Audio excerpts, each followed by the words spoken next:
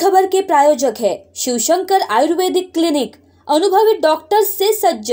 सभी प्रकार के आयुर्वेदिक दवाइयाँ मिलने का एकमात्र स्थान इनका पता।